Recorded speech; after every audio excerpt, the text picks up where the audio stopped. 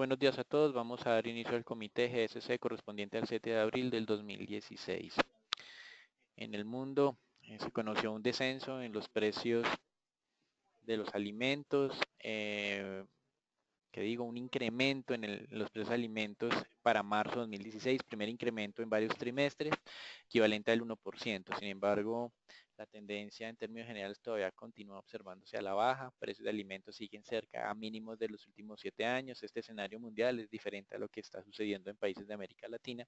Básicamente, varios de estos se han afectado por un fenómeno climático del niño, fuertes sequías que ha incrementado o ha reducido más bien la oferta de alimentos, ha incrementado sus precios y también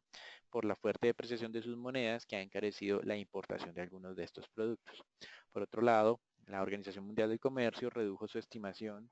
de crecimiento del comercio internacional para el año 2016, pasando del 3.9 al 2.8%, una evidencia más entonces de la desaceleración de la dinámica internacional. En Colombia, simplemente dos anuncios. Primero de ellos tiene que ver cómo el mercado ha venido reaccionando a ese dato de inflación, eh, el cual pues ya en 12 meses está cerca del 8%. Con base en esto, el mercado ha incrementado sus pronósticos de tasas de interés y ya se ha alineado a la postura que hemos venido eh, defendiendo desde hace varios meses en GSC con una tasa objetivo cercana al 7%. La tasa de interés actual de Colombia es del 6,5%, por lo que esperamos dos incrementos adicionales de 25 puntos básicos en la reunión de abril y mayo. Con relación pues a, a, lo que estamos eh, esperando eh, frente a futuro, vamos a ver los datos de crecimiento económico de primer trimestre ya hacia mediados de junio y con eso vamos a valorar nuevamente si nuestra postura de un 7% sería la final o si habría espacio para hacer incrementos eh, más allá de este nivel por parte del Banco de la República. Desde el lado corporativo, y diferentes medios de prensa están anunciando que hay dos propuestas fuertes para eh, o como medios de garantizar el funcionamiento de Pacific Exploration and Production Corporation. Una de ellas tiene que ver o está o es proveniente del grupo Alfa, quien es uno de los principales accionistas con cerca del 20% de la participación, y el otro proviene de eh, directivos actuales de la compañía, como, será, como o más bien bajo la tutela de Serafino y Iacono. Eh, los diferentes medios de prensa incluso se han aventurado a afirmar que la propuesta de Serafino Iacono, es decir, de los actuales directores, sería la favorecida por parte del comité, entre comillas, independiente que ha nombrado la compañía. En México, las autoridades fiscales afirmaron que cerca de 33 nombres de mexicanos fueron relacionados con los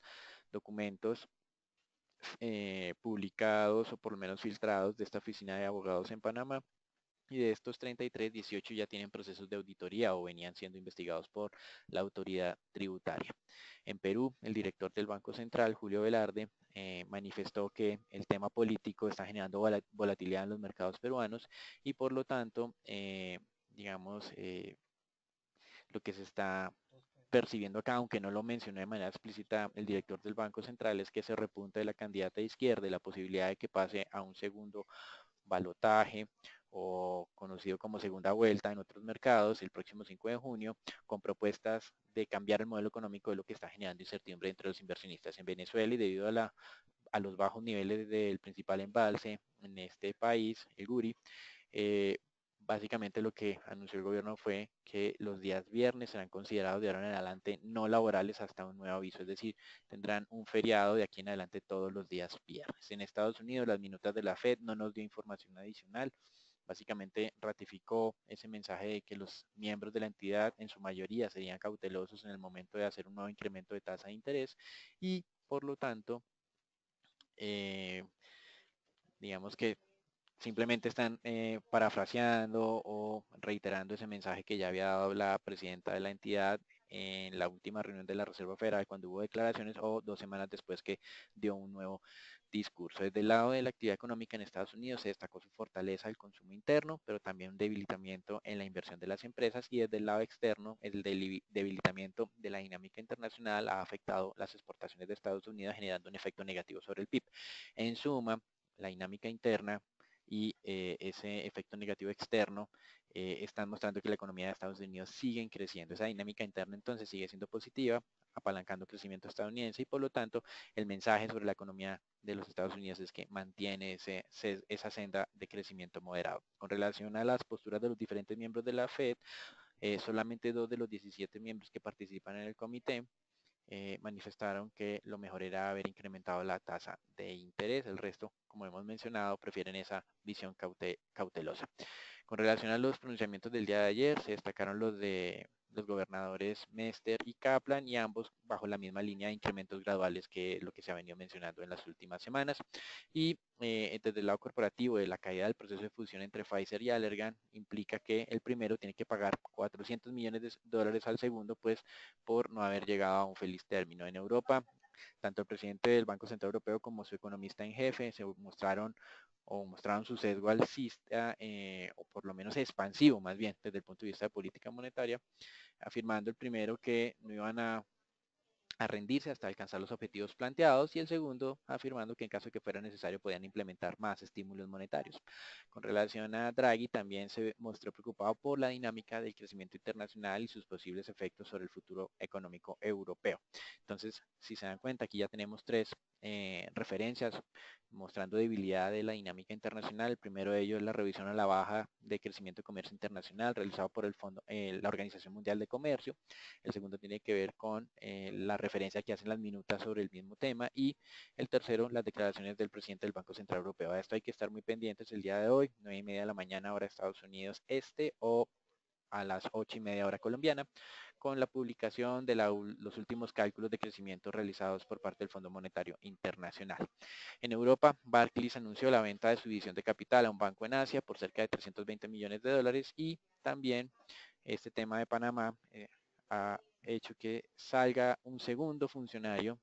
europeo. El día de ayer conocimos la dimisión del primer ministro islandés y el día de hoy un banco privado austriaco eh, anunció que su director iba a salir por el mismo tema.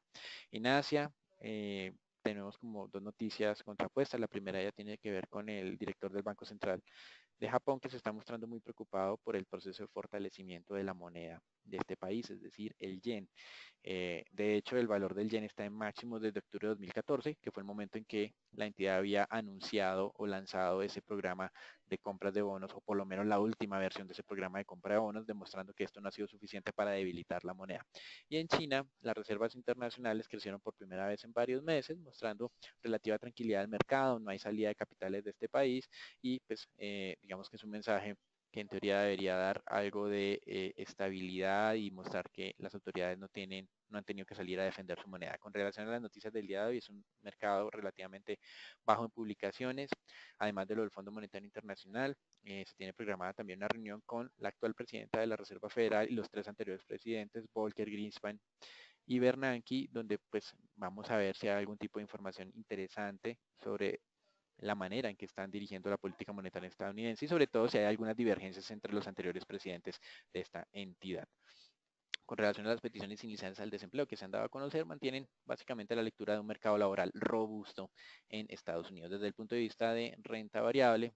interesante eh, estar observando que nuevamente la apertura es negativa. Ayer habíamos tenido una apertura negativa, pero con una recuperación a lo largo de la jornada. Hoy nuevamente tenemos apertura negativa, valores asociados al sector financiero son los que explican los descensos en Asia y en Europa, Estados Unidos con futuros cayendo cerca del 0.5%. Desde el punto de vista corporativo, muy importante, los anuncios de Samsung con una utilidad de primer trimestre superando las expectativas de mercado, creciendo el 10.4% frente al mismo periodo del 2015 y también con expectativas positivas por parte del mercado con relación a lo que viene a ser los ingresos futuros, por el lanzamiento anticipado del nuevo teléfono, el S7, y también de que este, del precio de este equipo es inferior al anterior modelo. Eso es todo por ahora, los dejamos con Agustín. Bien, en el mercado accionario local, simplemente recordarles que el índice Colcap se encuentra en ese nivel de congestión tan importante cercano a los 1.300 pesos.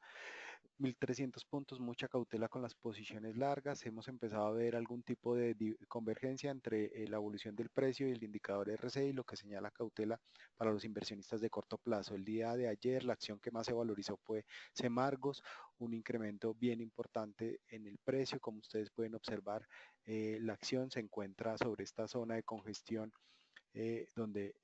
por ahora es importante monitorear la parte baja o zona de riesgo donde podría eh, ser señalada como una opción para disminuir eh, posiciones y llegar a presentarse una ruptura por debajo de los 11 mil pesos. Les recuerdo que nuestra visión sobre este emisor continúa siendo positiva. En el lado negativo, almacenes éxito, una caída del 1.16% y aquí eh, muy similar a lo que está pasando con el índice Colcap, estamos empezando a ver alguna convergencia donde podría señalar posibles ataques bajistas, por tal razón no recomendamos por ahora tomar posiciones al alza y tener eh, más bien expectativa para tomar algo de posiciones o reingreso de posiciones en esta zona sobre los 14.000 o 13.500 pesos y llegar a ser visitada. Lo que tiene que ver con el mercado mundial de monedas, simplemente recordarles que la mañana de hoy estamos viendo un mapa principalmente eh, rojo en, Europa y, algo de países emergentes. Eh, Asia se está valorizando por, esas, por esos anuncios que mencionaron el por parte del gobierno del Japón, pero lo más interesante acá es ver cómo el dólar está perdiendo, el dólar, perdón, está ganando terreno esta mañana y continuamos acá observando esa zona de soporte eh, sobre los 94, 95 puntos. Esa misma línea de ideas, el peso colombiano entonces debería continuar eh, tratando de buscar esa zona alta de los 3.100 a 3.120 eh, pesos que hemos sido reiterativos en, mencionarlo, donde encontramos una zona objetivo muy importante. Lo que tiene que ver con el mercado mundial de petróleo, simplemente observar cómo el precio del crudo se mantiene sobre ese nivel de 36 a 38 dólares el barril. Eh, y aquí simplemente eh, eh, manifestarles que nuestra expectativa es algo de calma en este activo. Digamos que por ahora se mm, se debería operar sobre este rango de precio, eh, mucha cautela a las eh, rupturas de estos niveles tan importantes eh, porque podríamos observar una evolución para cualquier, cualquiera de los dos lados. obviamente lo que está ocurriendo en este momento es que la presión es más bajista. Lo que tiene que ver con el mercado de renta fija, eh, simplemente observar que esta mañana hemos visto valorizaciones importantes en bonos, sobre todo de la deuda soberana. Algunos inversionistas retoman posiciones en estos activos. Eh, aprovechando algo de cautela y obviamente por esa disminución de expectativas de incremento en las tasas de los bonos de 10 años. Como ustedes pueden observar aquí, importante, los títulos de 10 años se encuentran operando por debajo de la nube del Ishimoku sobre este nivel de 1.76 hacia cerca de 1.70. Nuestra visión es favorable hacia estos bonos, podrían valorizarse hasta esa zona de 1.68, 1.66. Y para finalizar, en lo que tiene que ver con títulos de tesorería, les recuerdo el día de ayer enviamos una recomendación de eh, venta sobre estos títulos. Aquí tenemos una visión alcista en tasa, lo que llevaría los títulos de tesorería a operar sobre la zona primero de 8.13 a 8.15, que es una zona importante de Fibonacci, y más adelante tenemos un objetivo sobre el 8.3%.